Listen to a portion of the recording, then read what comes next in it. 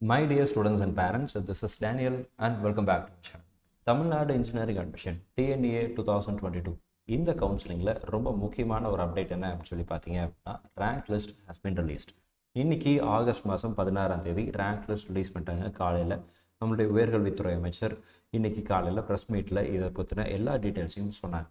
ஒட்டுமொத்தமாக தமிழகத்தில் இருக்கக்கூடிய இடங்கள் அப்படின்னு சொல்லி பார்த்தீங்க அப்படின்னா தமிழ்நாட்டில் மட்டும் கிட்டத்தட்ட ஒரு லட்சத்தி நாற்பத்தி எட்டாயிரத்தி எட்நூற்றி பதினோரு இடங்கள் அரசு கலந்தாய்வின் மூலமாய் சேர்ந்து கொள்ளக்கூடிய இடங்கள் அப்படிங்கிறது ஒரு லட்சத்தி நாற்பத்தெட்டாயிரத்தி எட்நூற்றி பதினோரு இடங்கள். தமிழகம் உள்ளே இருக்கக்கூடிய நானூற்றி முப்பத்தி ஒரு பொறியியல் கல்லூரிகளில் இருக்குது இதில் அறுபத்தைந்து சதவீத இடங்கள் அப்படிங்கிறது கவர்மெண்ட் கோட்டாவாகவும் முப்பத்தஞ்சு சதவீத இடங்கள் அப்படிங்கிறது மேனேஜ்மெண்ட் கோட்டாவும் இருக்குது அப்போ ஒட்டுமொத்தமாக கவர்மெண்ட் கோட்டாக்கு இருக்கிற சீட்டினுடைய எண்ணிக்கை one lakh forty eight thousand eight hundred eleven seats அப்படிங்கிறது இந்த கவுன்சிலிங்கில் இருக்குது இது தவிர்த்து பார்த்தீங்க அப்படின்னா செவன் பாயிண்ட் ஃபைவ் ரிசர்வேஷனில் கிட்டத்தட்ட பத்தாயிரத்தி தொள்ளாயிரத்தி அறுபத்தி எட்டு இடங்கள் இருக்குது இது போக ஒகேஷனல் நூற்றி எழுபத்தஞ்சு இடங்கள் சீட்ஸ் ரிசர்வேஷன் கொடுத்துருக்குறாங்க. எக்ஸ் எக்ஸ் சர்வீஸ் மேனுக்கு தொள்ளாயிரத்தி எழுபது இடங்கள் கொடுத்துருக்காங்க டிஃப்ரெண்ட்லி ஏபிள்டுக்கு பார்த்தீங்கன்னா இரநூத்தி மூணு இடங்கள் கொடுத்துருக்காங்க இந்த மாதிரி நிறைய முக்கியமான அப்டேட்ஸ் அப்படிங்கிறது இன்றைக்கி வந்திருக்கிற ரேங்க் லிஸ்ட்டோட சேர்ந்து நமக்கு வந்து தெரியுது.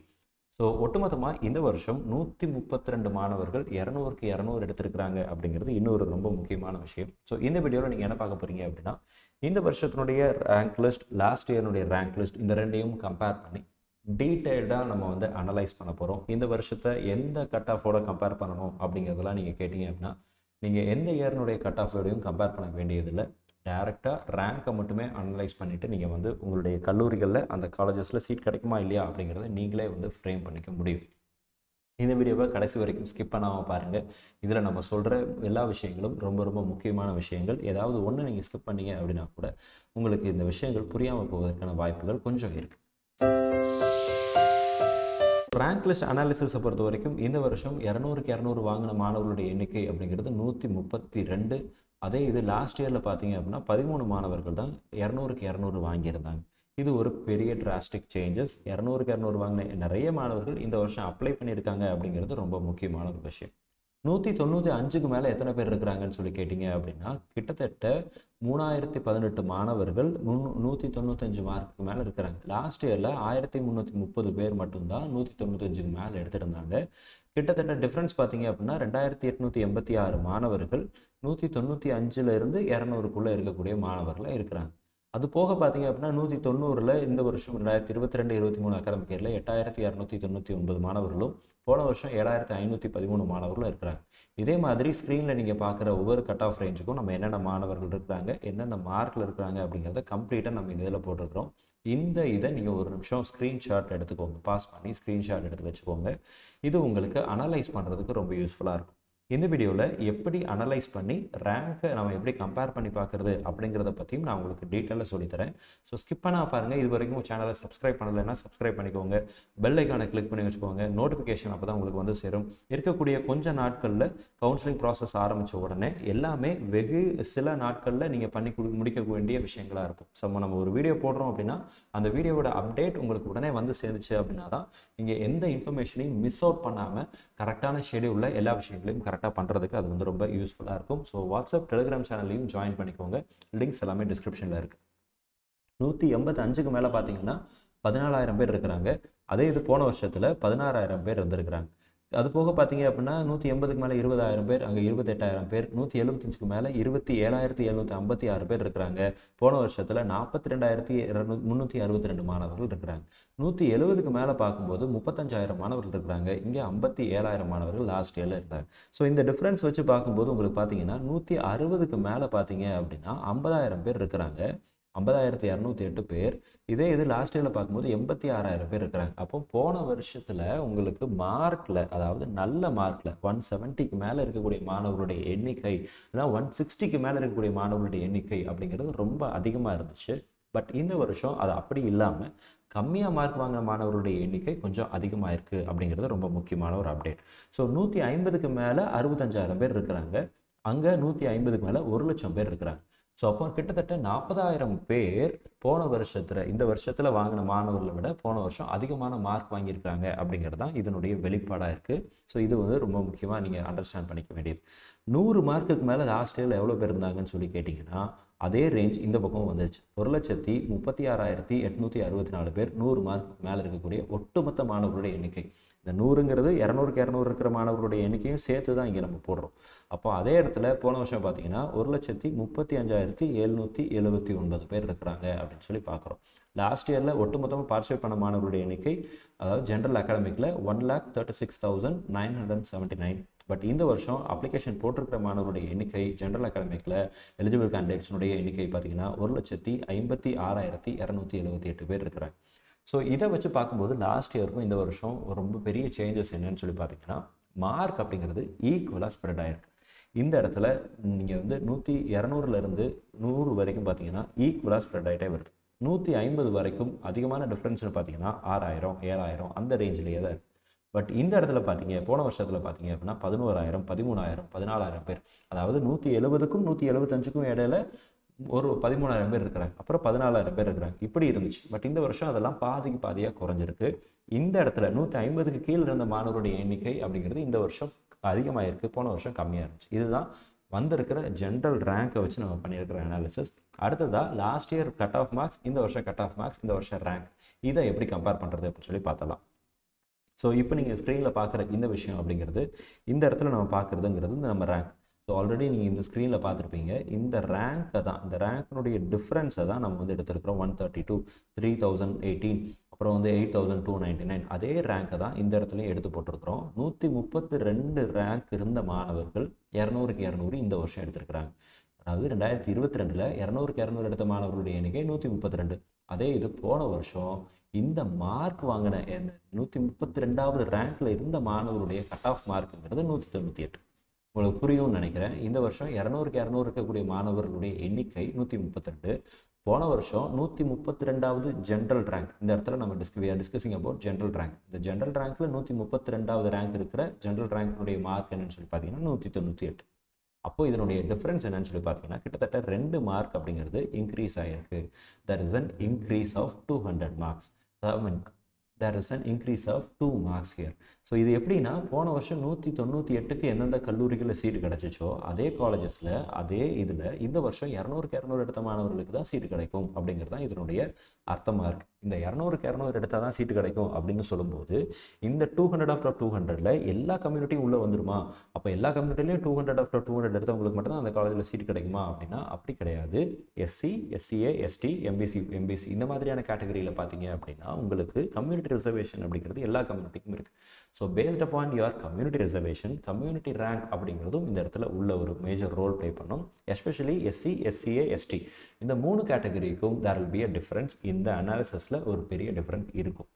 அடுத்ததாக பார்த்தீங்க அப்படின்னா மூணாயிரத்தி பதினெட்டு ரேங்க் இருக்குது அப்படின்னா உங்களுடைய ரேங்க் வந்து மூணாயிரத்தி பதினெட்டு ரேங்க் இருக்குது அப்படின்னா போன வருஷம் நூற்றி தொண்ணூற்றி ரெண்டு புள்ளி ஒன்பது ஒன்பது மார்க்குக்கு எந்த காலேஜில் சீட் கிடச்சிச்சோ? அந்த இது இந்த வருஷம் நூற்றி தொண்ணூத்தஞ்சு இருக்கக்கூடிய மாணவர்களுக்கு தான் கிடைக்க போகுது அப்படிங்கிறது ஒரு முக்கியமான விஷயம். One ninety two point nine nine அப்படின்னா த்ரீ மா one ninety three marks so ரெண்டு மார்க் இன்க்ரீஸ் ஆயிருக்கு இந்த இடத்துலையும். அப்போ நூற்றி தொண்ணூற்றி அஞ்சுக்கு மேலே ரெண்டு ரெண்டு நாலு மார்க் இன்க்ரீஸ் ஆயிருக்கு அப்படிங்கிறது தான் ரொம்ப முக்கியமான அப்டேட் அடுத்ததாக நூற்றி தொண்ணூறு கட் ஆஃப் இந்த வருஷம் நூற்றி தொண்ணூறு இருக்குது உங்களோட ரேங்க் வந்து eight thousand two hundred ninety nine இந்த ரேங்க்குக்கு மேலே நீங்கள் இருக்கிறீங்க அப்படின்னா போன வருஷம் நூற்றி எண்பத்தி ஒன்பது புள்ளி அஞ்சு அதாவது போன வருஷம் நூற்றி தொண்ணூறுக்கு எந்த காலேஜ் கிடச்சிச்சோ அதே காலேஜஸ் இந்த வருஷமும் சீட் கிடைக்கிறதுக்கு வாய்ப்பு இருக்குது ஜீரோ பாயிண்ட் ஃபைவ் மார்க்ஸ் தான் இன்க்ரீஸ் ஆகுது. இது பெரிய வித்தியாசம் இல்லை. போன வருஷம் ஒன் நைன்ட்டிக்கு எந்த காலேஜெல்லாம் கிடச்சிச்சோ அதே காலேஜ் அதே சீட்ஸ் அதே டிபார்ட்மெண்ட்ஸ் இந்த வருஷம் நூற்றி தொண்ணூறுக்கும் கிடைக்கும். இதுதான் இதனுடைய வெளிப்பாடு புரிதல். அடுத்ததான் இந்த வருஷம் ரேங்க் வந்து பதினாலாயிரத்தி நானூற்றி முப்பத்தஞ்சு இருக்குது சார் எனக்கு எந்த காலேஜ் சீட் கிடைக்கும் அப்படின்னு சொல்லிட்டு கேட்டிங்கன்னா போன வருஷம் நூற்றி எண்பத்தி ஆறுக்கு எந்த காலேஜ் கிடச்சிச்சோ அது இந்த வருஷம் நூற்றி எண்பத்தஞ்சு இருக்கக்கூடிய மாணவர்களுக்கே கிடைக்கும். கிட்டத்தட்ட ஒரு மார்க் அப்படிங்கிறது ஒன் பாயிண்ட் ஒன் மார்க் அப்படிங்கிறது கம்மியாயிருக்கு. அடுத்ததாக நூற்றி எண்பது கட் ஆஃப் இருக்கக்கூடிய மாணவர்கள் போன வருஷம் நூற்றி எண்பத்தி மூணுக்கு என்ன காலேஜில் சீட் கிடச்சிச்சோ அவங்களுக்கு கிடைக்கும். மூணு மார்க் அப்படிங்கிறது கம்மியாக இருக்குது ரேங்க்குங்கிறது இருபதாயிரத்தி எழுநூற்றி முப்பத்தி ஆறு. அது அப்படியே இந்த ஸ்க்ரீன் ஃபுல்லாகவே நீங்கள் பாருங்கள் அந்த பிடிஎஃப் நான் அவங்களுடைய வாட்ஸ்அப் குரூப்லையும் ஷேர் பண்ணுறேன் டெலிகிராம்லையும் ஷேர் பண்ணுறேன் இது வரைக்கும் சேனலில் சப்ஸ்கிரைப் பண்ணலாம் சப்ஸ்கிரைப் பண்ணிக்கோங்க. இருபத்தி ஏழாயிரத்தி எழுநூற்றி ஐம்பத்தாறு ரேங்க்குக்கு மேலே இருக்கக்கூடிய மாணவர்கள் நீங்கள் அப்படின்னா நூற்றி எழுபத்தஞ்சு கட் ஆஃப் மார்க் உங்களுக்கு இருக்கும். நூற்றி எழுபத்தஞ்சுக்கு மேலே ஏதோ ஒரு மார்க் இருக்கும். உங்களுக்கு நூற்றி எண்பது புள்ளி அஞ்சுக்கு இப்போ லாஸ்ட் இயரில் என்னென்ன காலேஜஸ் சீட் கிடச்சிச்சோ அந்த காலேஜஸ் எல்லாம் இந்த வருஷம் உங்களுக்கு சீட் கிடைக்கிறதுக்கு வாய்ப்புகள் இருக்குது அஞ்சு மார்க் கம்மியாக இருக்குது ஸோ நூற்றி தொண்ணூறுக்கு மேலே மட்டும்தான் மார்க் அப்படிங்கிறது இன்க்ரீஸ் ஆகிருக்கு நூற்றி எண்பத்தி நூற்றி தொண்ணூறுக்கு கீழே பார்த்தீங்கன்னா மார்க் அப்படிங்கிறது கொஞ்சம் கொஞ்சமாக குறைய ஆரம்பிச்சிருது. ஸோ நூற்றி எண்பத்தி ஆறுக்கு பார்க்கும்போது நூற்றி எண்பத்தஞ்சுக்கு பார்க்கும்போது ஒரு மார்க் கம்மியாக இருக்குது நூற்றி எண்பதுக்கு பார்க்கும்போது மூணு மார்க் கம்மியாக இருக்குது நூற்றி எழுபத்தஞ்சுக்கு அஞ்சு மார்க் கம்மியாக இருக்குது நூற்றி எழுபதுக்கு பார்த்தீங்கன்னா ஏழு புள்ளி அஞ்சு மார்க் கம்மியாக இருக்குது போன வருஷம் நூற்றி எழுபத்தி ஏழுக்கு என்ன கிடச்சிச்சோ அது இந்த வருஷம் நூற்றி எழுபதுக்கே கிடைக்கும். போன வருஷம் நூற்றி அறுபத்தஞ்சுக்கு நூற்றி எழுபத்தி நாலுக்கு என்ன கிடச்சிச்சோ அது இந்த வருஷம் நூற்றி எழு அறுபத்தஞ்சுக்கு கிடைக்கும். கிட்டத்தட்ட பத்து மார்க் அப்படிங்கிறது டிக்ரீஸ் ஆகிருக்கு ரேங்க் பார்த்துக்கோங்க. நாற்பத்தி ரெண்டாயிரத்தி அறநூற்றி இருபத்தி ரெண்டு ரேங்க் இருக்கக்கூடிய மாணவர்கள். நூற்றி எழுபத்தி நாலு போன வருஷம் கட் ஆஃப் நீங்கள் வந்து டிஎன்ஏ ஆன்லைன் டாட் ஓஆர்ஜி அப்படிங்கிற வெப்சைட்டில் கட் ஆஃப் லிங்க் இருக்கும். அந்த லிங்கை கிளிக் பண்ணி நீங்கள் டூ தௌசண்ட் டுவெண்ட்டி ஒன் எடுத்துட்டு அதில் போய் நூற்றி எழுபத்தி நாலு புள்ளி எட்டு ஒம்பதுக்கு எந்தெந்த காலேஜில் என்னென்ன டிபார்ட்மெண்ட்லாம் கிடச்சிருந்துச்சோ அந்த காலேஜஸ் அந்தந்த டிபார்ட்மெண்ட்ஸ் அந்தந்த காலேஜஸ் எல்லாம் இந்த வருஷம் நூற்றி அறுபத்தஞ்சு மார்க் வாங்கின மாணவர்களுக்கே கிடைக்கும். ஸோ கட் ஆஃப் அப்படிங்கிறது கம்மியாகிருக்கு ஒரு சில மார்க்குக்கு மட்டும்தான். நூற்றி தொண்ணூறுக்கு மேலே மட்டும்தான் கட் ஆஃப் இன்க்ரீஸ் ஆயிருக்கு. நூற்றி தொண்ணூறுக்கு கீழே கட் ஆஃப்ங்கிறது கிராஜுவலாக கம்மியாகிட்டே வருது. இப்போ வந்து கிட்டத்தட்ட பத்து மார்க் கம்மியாயிருச்சு. அடுத்ததாக பார்த்தீங்கன்னா ஐம்பதாயிரம் ரேங்க்குக்கு மேலே இருக்கக்கூடிய மாணவர்கள் அப்படின்னா நூற்றி அறுபது மார்க்குக்கு மேலே நீங்கள் இருப்பீங்க. போன வருஷம் ஒன் செவன்ட்டி டூக்கு என்னென்ன கிடைச்சிச்சோ அது இந்த வருஷம் ஒன் சிக்ஸ்டிக்கு கிடைக்கும். இதுதான் இதனுடைய அண்டர்ஸ்டாண்டிங் பன்னெண்டு மார்க் கம்மியாக இருக்குது அடுத்ததாக நூற்றி ஐம்பத்தஞ்சு இருக்கக்கூடிய மாணவர்களுக்கு பதினாலு புள்ளி எட்டு பதினஞ்சு மார்க் கம்மியாக இருக்குது அடுத்ததாக நூற்றி ஐம்பதுனா பதினேழு மார்க் கம்மியாக இருக்குது நூற்றி நாற்பதுங்கும் போது இருபத்தி ரெண்டு மார்க் கம்மியாக இருக்குது இருபத்தி ரெண்டு மார்க்னா என்ன அர்த்தம்? எண்பதாயிரம் ரேங்க் உங்களுக்கு இருக்குது. எண்பதாயிரத்தி நூற்றி நாலு ரேங்க் மேலே நீங்கள் இருக்கக்கூடிய மாணவர்கள்னால் போன வருஷம் நூற்றி அறுபத்தி ரெண்டுக்கு என்ன காலேஜ் கிடச்சிச்சோ எந்த காலேஜில் எந்த டிபார்ட்மெண்ட் எந்த சீட் கிடச்சிச்சோ அது இந்த வருஷம் நூற்றி நாற்பது வாங்கின மாணவர்களுக்கே கிடைக்கும். அப்போ கவுன்சிலிங்கில் நீங்கள் தாராளமாக வெயிட் பண்ணலாம். கட் ஆஃப் கம்மியாகிடுச்சு எனக்கு சீட் கிடைக்காது அப்படின்னா நம்பாதீங்க. கண்டிப்பாக உங்களுக்கு சீட் கிடைக்கும். கவுன்சிலிங்கில் பார்ட்டிசிபேட் பண்ணிக்கிட்ட எல்லா மாணவர்களுக்கும் சீட் அப்படிங்கிறது உறுதியாக இருக்கும். நீங்கள் கவுன்சிலிங்கில் பார்ட்டிசிபேட் பண்ணி சீட் எடுத்துக்கலாம். அடுத்ததாக பார்த்தீங்கன்னா நைன்ட்டி ஃபைவ் தௌசண்ட் ரேங்க் இருக்குது நூற்றி முப்பது மார்க் தான் எனக்கு இருக்குது அப்படின்னா போன வருஷம் நூற்றி ஐம்பத்தி ஆறுக்கு கிடைச்ச காலேஜஸ் சீட்ஸ் எல்லாம் உங்களுக்கு இந்த வருஷம் கிடைக்கும். இருபத்தி ஆறு மார்க் கம்மியாக இருக்குது நூற்றி இருபதில் பார்க்கும்போது இருபது இருபத்தி ஒன்பது மார்க் கம்மியாக இருக்குது நூற்றி பத்தில் பார்க்கும்போதும் இருபத்தி ஒன்பது மார்க் அப்படிங்கிறது கம்மியாக இருக்குது ஸோ இதனுடைய அர்த்தம் என்ன அப்படின்னா நூற்றி தொண்ணூறு மார்க்குக்கு மேலே இருக்கக்கூடிய மாணவர்களுக்கெல்லாம் மார்க் அப்படிங்கிறது நாலு மார்க் வரைக்கும் இன்க்ரீஸ் ஆயிருக்கு. நூற்றி தொண்ணூறுக்கு கீழே இருக்கக்கூடிய மாணவர்களுக்கு ஒரு மார்க்கில் ஆரம்பித்து முப்பது மார்க் வரைக்கும் மார்க் அப்படிங்கிறது கம்மியாக இருக்குது இந்த மாதிரி நீங்கள் அனலைஸ் பண்ணும்போது லாஸ்ட் இயர் அந்த TNE online dot org website போய் கட் ஆஃப் அனாலிசஸ் அப்படிங்கிற அந்த லிங்கை கிளிக் பண்ணீங்க அப்படின்னா ஒரு செப்பரேட் விண்டோ ஓப்பன் ஆகும். அந்த விண்டோவை ஓப்பன் பண்ணிவிட்டு அந்த விண்டோவில் நீங்கள் எந்த காலேஜை நினச்சிருக்கீங்களோ உங்கள் மனசில் எந்த காலேஜ் நீங்கள் நினச்சிருக்கீங்களோ அந்த காலேஜை சூஸ் பண்ணி பாருங்கள் அதில் நீங்கள் விரும்பின டிபார்ட்மெண்ட்டுக்கு எந்த கட் ஆஃபில் கம்மியாக இருக்குது ஒருவேளை உங்களுடைய மார்க் வந்து நூற்றி எண்பது தான் நூற்றி எண்பத்தஞ்சு தான் வச்சுக்கோங்களேன். போன வருஷம் நீங்கள் எதிர்பார்த்த கல்லூரியில் நூற்றி எண்பத்தி ஆறுக்கு அங்கே சீட் கிடச்சிருந்துச்சு அப்படின்னா உங்களுடைய கம்யூனிட்டியில் சீட் கிடச்சிருந்துச்சு அப்படின்னா உங்களுக்கு சீட்டு கிடைக்கும். ஸோ இந்த இது எல்லாமே ஜென்ரல் ரேங்கை பொறுத்து தான் நம்ம பேசிகிட்டு இருக்கோம் பிசி பிசிஎம் எம்பிசி அப்புறம் வந்து எஸ்சி எஸ்சிஏ எஸ்டி இப்படி கம்யூனிட்டி வைஸ் ரிசர்வேஷன் போக போக இந்த மார்க்கில் இன்னும் கொஞ்சம் குறையும். ஸோ இந்த மார்க்கை விட நீங்கள் கம்மியான மார்க் வச்சுருந்தீங்க அப்படின்னாலும் அந்த கம்யூனிட்டியில் அங்கே அந்த மார்க் கம்மியாக இருக்கா அப்படிங்கிறத செக் பண்ணி பார்த்துக்கோங்க ஸோ அப்படி இருந்துச்சு அப்படின்னா உங்களுக்கு சீட் கிடைப்பதற்கான வாய்ப்புகள் நிறையவே இருக்குது இந்த வீடியோ உங்களுக்கு யூஸ்ஃபுல்லாக இருந்திருக்கும்னு நினைக்கிறேன். யூஸ்ஃபுல்லாக இருந்துச்சு அப்படின்னா உங்களுடைய ஃப்ரெண்ட்ஸுக்கும் இந்த வீடியோவை ஷேர் பண்ணுங்கள் அண்ட் இது வரைக்கும் நீங்கள் நம்மளுடைய சேனலை சப்ஸ்கிரைப் பண்ணலை அப்படின்னா சப்ஸ்கிரைப் பண்ணிக்கோங்க. பக்கத்தில் இருக்கிற பெல் ஐக்கானை கிளிக் பண்ணிக்கோங்க. வேலை இந்த வீடியோ பார்த்துட்டு இருக்கிறவங்களுக்கு சாய்ஸ் ஃபில்லிங் ரிலேட்டடாக ஏதாவது உதவிகள் தேவைப்பட்டுச்சு அப்படின்னா மிஸ்பேக் கரியர் அகாடமியை நீங்கள் ரீச் பண்ணலாம்.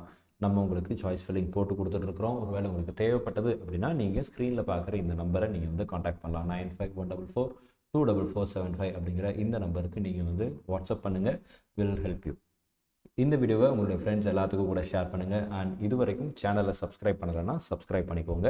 அண்ட் வாட்ஸ்அப் டெலிகிராம் சேனலை ஜாயின் பண்ணிக்கோங்க. அண்ட் நீங்கள் எதிர்பார்த்த கல்லூரியில் உங்களுக்கு இடம் கிடைக்கணும்னு சொல்லி உங்களுக்காக நானும் ப்ரே பண்ணிக்கிறேன். All the very best